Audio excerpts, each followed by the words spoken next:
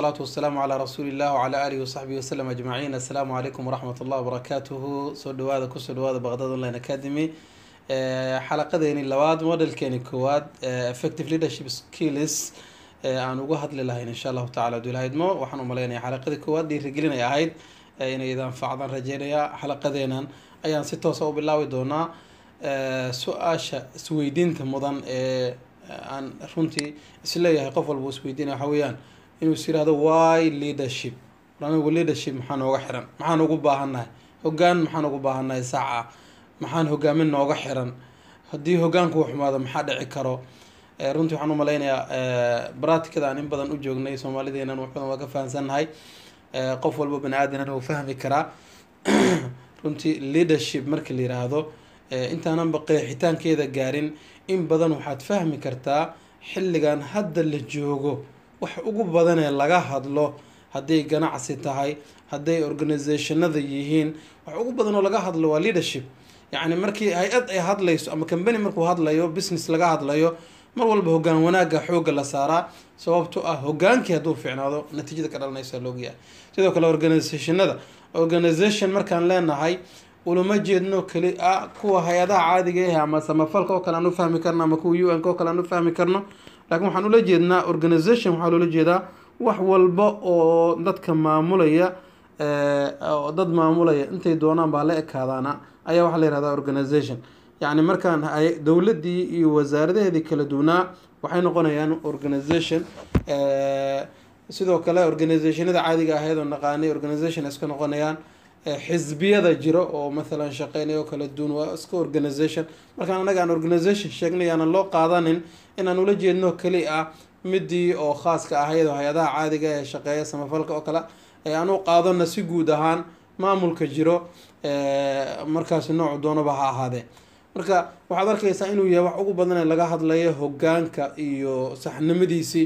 Haddii aad aragto shaqaalo oo farxad farxsan shaqadooda ku dhiiran qanacsan horu socod ah waxaad dareemaysaa inay hogaamiye fiican haystaan. Haddii aad aragto shaqaalo moral jabsan shaqo kala raadinaya markaad ku soo qaada kambaniga ay u shaqeynayaan magaciisii u fahmaya inaad wax qaldan kala hadlayso macnaha waxay ka dhigan tahay hogaan xumi ayaa haysato. Waxaa la sheegayay qola awriday sameeyeen kambani ay ku sameeyeen baa shaqaalihii bay wareysanayeen markaas shaqaalihi mid ka mid waxay ku yidhaahdeen warnihow adiga kambanigan weli weligaa intaad baxday. Danihiisii meel ka baxsan meesha aada joogta ma ugu shaqaysay. Markaasaa wuxuu yihi maxaa iga galay?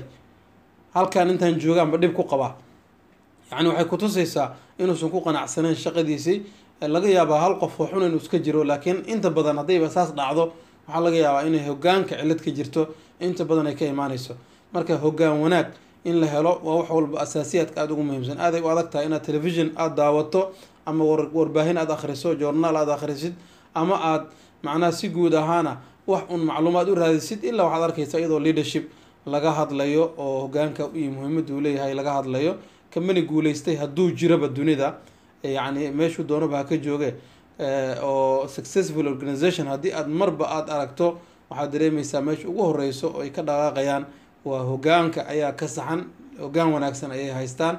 Mar walbo asaas waxa u ah horumar walboo la gaaro hal abuur dam walboo la arko oo kambaniga uu sameynayo horey u socdo la arko ama hay'adda ay sameynayso ama dowladd ay sameynayso waxaad ogaaneysaa in meesha ay wax ka saxan yihiin ay tahay hogaanka oo saxan. Waayo haddii hogaankii u qalloocsanaado waxay inta badan abuureysaa inay shaqaalihii ama mehe wixii hoos imaanayo kay ka hooseeyey iyagana qanaaca darra ka jirto. Taasay macnaha kutusaysaa aan u imaano bal definition of leadership leadership maxaa la dhahaa? Qeexitaankiisa muxuu yahay. Runtii intaan baaritaanka sameynayay qeexitaano fara badan baa ku soo baxaya ninba dhinac buu u jiidanaya qofba dhinac buu ka arkayaa inaan qeexitaano fara badan halkaan idinkusoo xuso muhiimad fara badan ma sameyneyso laakiin waxaan is dhahay labadan qeexitaan bal iyaga ayaa ugu isleh ayaa koobi karo si guud ahaana qeexitaanka leadership. Midda kowaad wuxuu ley leadership is the process by which a person exerts uh, influence over others. Yacni leadership waxaa la yihahdaa processka qof uu macnaha ku saameynaya dad kale ama uu ku dhiiragelinaya dad kale yacni oo dhiirigelin u sameynaya iyadoo markaasi uu ku hagayo inay gaaraan inay sameeyaan activities xadidan ama in la gaaro ahdaaf xadidan oo la rabo in la gaaro. Leadership qeexitaankan wuxuu ku qeexayaa waa process. Mar walba leadership haddii la sheegay process in la sheego wa maanaa process mar walba uu iska yahay processkaasi qof ayaa sameynaya qofkaasina waa qof saameyn leh oo dad kale saameyn ku leh.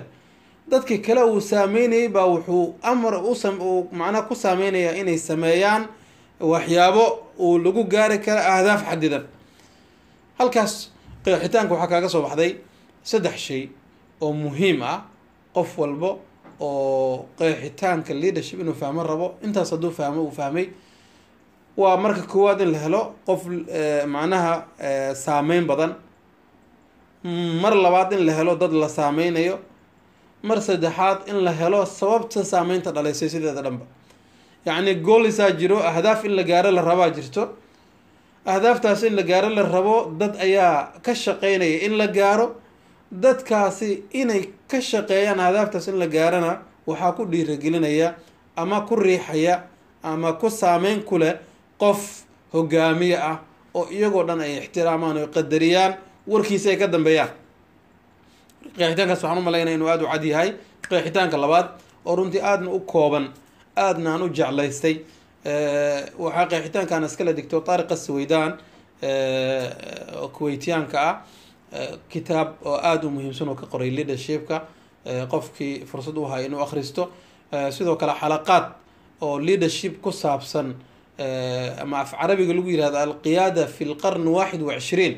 Hogaanka qarniga labaatan iyo koowaad oo ugu hadlayo casriga hadda la jooga iyo hogaan iyo wax loo yaqaano ayuu runtii sameeyey. Xalaqaad fara badan youtube-kay ku jiraan qofkii rabuu ka faa-iideysan karaa. Wuxuu ku soo koobay leadership inuu yahay process of moving people towards the goals. Process dadka looga dhaqaajinaya dhinaca oo ahdaafta ay jiraan loo hogaaminaya macrabigiis wuxuu ku yihahdaa taxriik annaas naxwa alhadaf. In dadka loo dhaqaajiyo dhinaca ahdaafta in la gaaro la rabay.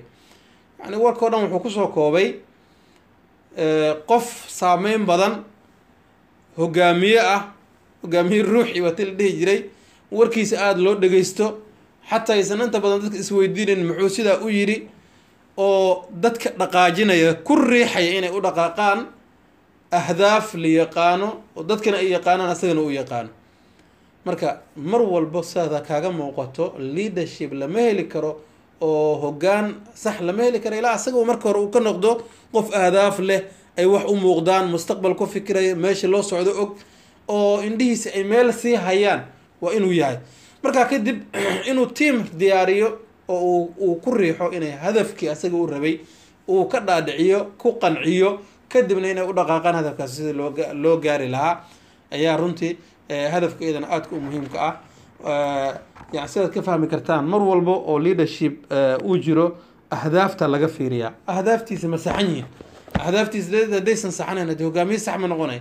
Qofka ahdaaftiisii doorasho dhan u gelaya inuu lacag ka sameeyo ama maha u gelayo inuu masaalix shaksiya ku gaaro ama u gelayo inuu dana dad khaas ah oo meeshaasi lagu gaaro qofkaasi isla markii waxaad fahmi kartaa inuu yahay qof dana gaar ah xoogga saaray.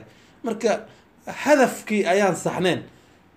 Hadafka adiga aada rabtid in la gaaro hadduu qofkaani uu diiradda saarayo qofkii u qalmina uu yahay hogaamiyaha saxda inaad ku dabafeesho u baahan ayuu hogaamiyahaasi noqonaya su'aasha isweydiinta mudan oo meesha ka soo baxaysa waxay noqonaysaa is leadership genetic or acquired. Yacni hogaaminimada wax la iska dhaxlaa mase waa wax la kasban karo. Ilan waxaa laga yaabaa idinkao dhan inaad isleedihiin hogaaminimadu waa wax oo qofka ilaahay ku abuuro waa qofku wuxuu ku dhasho waa wax dhaxaltooye ah. Reer hebel oo reer boqortooye ahaan jiray weligoodba reerkaas unbaa uun hogaamiye noqon kara inaad isleedihiin laga yaabaa. Laakiin sax miya cilmi baarista la sameeyey waxaa lagu ogaaday in boqolkiiba laba oo keli ah in boqolkiiba laba oo keli ah ay hogaaminimada ku dhashaan. In boqolkiiba laba haddii waa cilmi baarista caadiga ah oo bani aadamka caadiga ay sameeyeen sida saxda guud ahaan la isku raacsan yahay. Boqolkiiba labo ayaa hogaaminimada ku dhalato. Boqolkiiba sagaashan iyo sideed hogaaminimadu oo wax la abuuran karo la sameysan karo la baran karo lagu dhaqmi karo. Taas waxaad meesha ka fahmaysaa macnaha hogaamiyenimada inaysan ahayn wax culus oo dad khaas ay leeyihiin ama meelo gaar in loo mar u baahan inaysan ahayn. Oo wax aad u fudud qof walba uu gaari karo. Bes tilmaamaha la sheegay hogaamiyaha uu leeyahay inaad iska raaraadiso haddaad leedahay alxamdulilah haddaadan lahayn aad iska raadisid haddii tilmaamahaasi aada leedahay ku dhaqantid haddaadan lahayna aad inaad ku dhaqanto isku daytid soo baraadgaraysid aada muhiimsan. Boqolkiiba sagaashan iyo sideed dadka hogaamiyenimada inay sameeyaan ay jaanis u haystaan.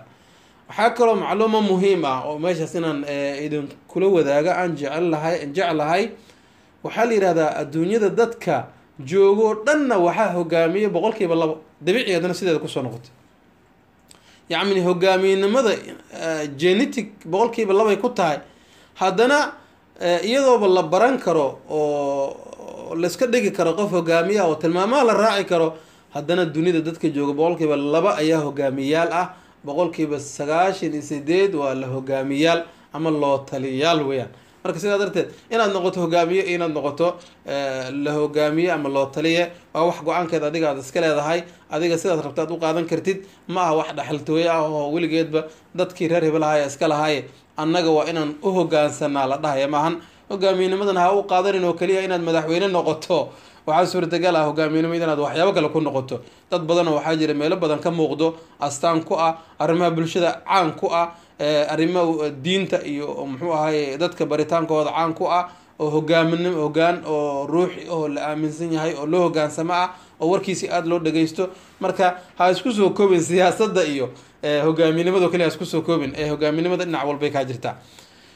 Sidoo kale culamada islamka waxay leeyihiin nabigeen maxamed caleyhi salaatu wassalaam oraahda uu yiri ee ahayd annaasu kal-ibili lmi-a laa takaadu tajidu fiiha raaxila dadku waxay la mid yihiin sida geela boqolka halaad oo kale ah oo aadan ka dhexhelaynin raaxila macnaha hal aad ku aad ku guurto ama aad aad aada fuusho aadan ka helaynin ayuu lami ay dadka la mid yihiin. Xadiiska uu rasuulka yidhi waxay ka qaateen in boqolkiiba hal dadka ay hogaaminta ay qaban karaan. Macnaha halkaasi hashaasi keliya ayaa hogaamintii u dhiganto oo marka boqolkiiba hal ayaa lagu dhalaa xadiiska rasuulka markaan ka qaadano qaabkaas loo firin karaa sidii kale oo theoryga ama ay baaritaanka ay sameeyeen culimadan kale ee adduunka o dhan waxay iyadana ku gaareen boqolkiiba labo. Marka boqolkiiba hal oo nabiga caleyhi salaatu wasalaam xadiiskiisa fahamka laga qaatay ah iyo boqolkiiba labo oo dadka bani aadanka aragtidooda isku raaceen ah taad rabtaba u qaado. Ugu dambeyntii waxaad meeshaas ka fahmaysaa in aada ay muhiim u tahay in hogaamiyenimada la barto in hogaamiyenimada la raadiyo in hogaamiyenimada waqti lagu bixiyo si dadka hogaanka ah loo badiyo si dadka hogaanka bulshada qeybeeda kala duwan hogaaminaya ay tilmaamaha hogaaminimada u yeeshaan. Waxaan rajeynayaa inaan qeexitaanka hogaaminimada aan ku qeexay fahan fahankiisa aan soo dhaweeyey wixii intaa ka badan oo dheeraada idinkana aada raadsan kartaan. Insha allahu tacaala qeexitaankan kadib waxaan si toosa u geli doonaa aragtiyooyinkii ku saabsanaa leadership ama effective leadership. intaas ayaan ku soo gabagabeynaya aadaad u mahadsantihiin dhegeysigiin oo ku mahadsantihiin ku soo dhawaada mar kale baqdad online academy. wassalaamu calaykum waraxmat ullaahi wabarakaatu